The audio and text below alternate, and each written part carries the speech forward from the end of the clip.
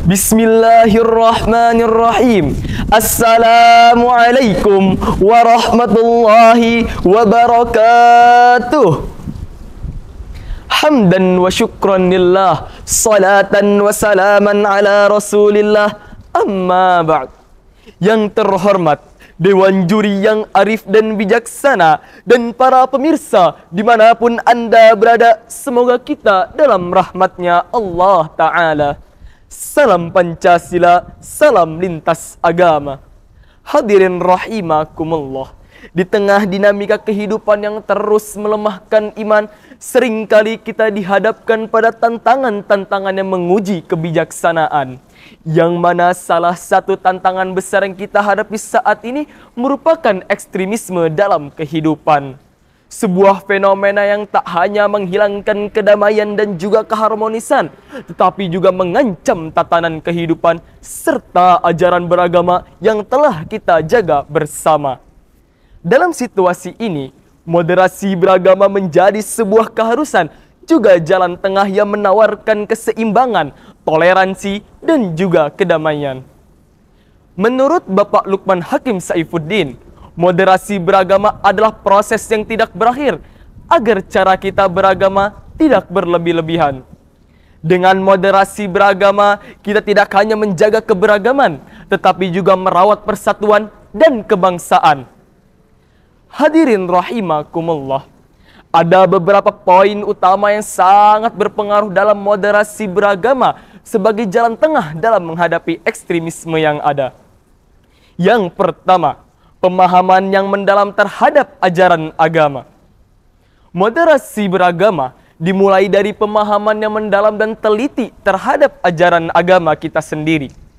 Fazur Rahman, seorang cendikiawan muslim terkenal, menekankan bahwa Pemahaman yang mendalam dan konseptual terhadap teks-teks agama adalah kunci utama dalam menerapkan ajaran agama.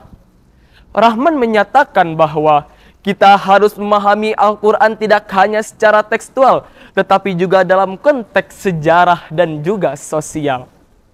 Jika seseorang atas nama agama misalnya melakukan perbuatan yang dapat menghilangkan eksistensi kemanusiaan, itu sudah bisa disebut melanggar nilai kemanusiaan.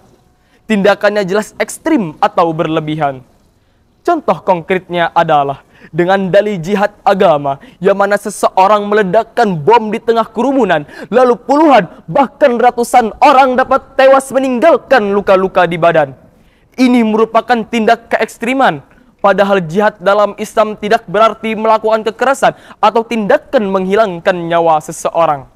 Karena Allah Subhanahu wa taala berfirman di dalam Al-Qur'an surat Al-Furqan ayat 52 yang berbunyi fala tuti'il kafirina wajahiduhum bihi jihadan kabira maka janganlah engkau taati orang-orang kafir dan berjihadlah menghadapi mereka dengannya dengan semangat jihad yang besar Ayat ini mengisyaratkan bahwa berjihad dengan Al-Quran, yakni menyebarkan dan mengajarkan ajaran-ajaran Islam dengan penuh hikmah dan kebijaksanaan. Inilah bentuk jihad yang mulia yang disertai dengan keridoan.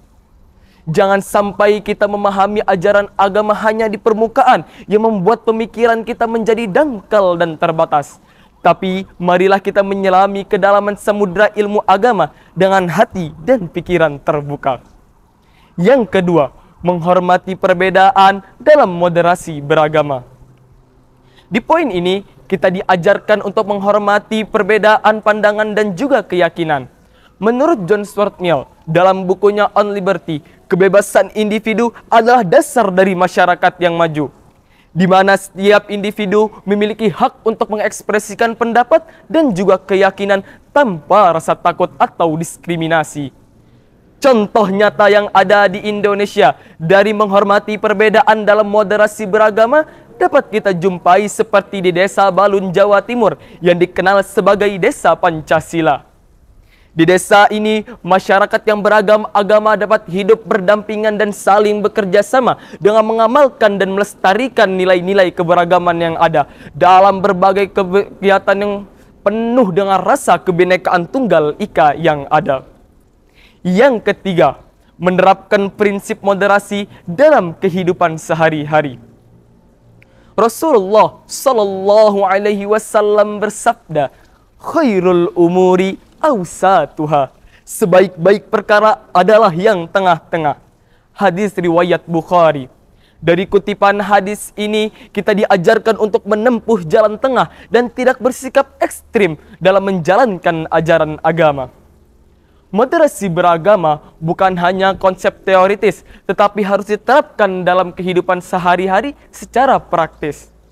Mari kita terus menerapkan prinsip moderasi dalam kehidupan sehari-hari, agar di bumi ini kita merasakan bagaimana rasa saling peduli di setiap jati diri Hadirin rahimakumullah, dapat kita simpulkan bahwa moderasi beragama adalah kunci utama dalam menghadapi ekstremisme yang ada. Dengan memahami ajaran agama secara mendalam, menghormati perbedaan, dan menerapkan prinsip moderasi dalam kehidupan keseharian, kita dapat mengurangi ekstremisme dalam kehidupan. Marilah kita terus mengembangkan sikap saling menghormati, memahami, dan bekerja sama demi kebaikan bersama. Hadirin rahimakumullah. Cukup sekian yang dapat saya sampaikan. Kurang lebihnya mohon dimaafkan dan terima kasih atas segala perhatian.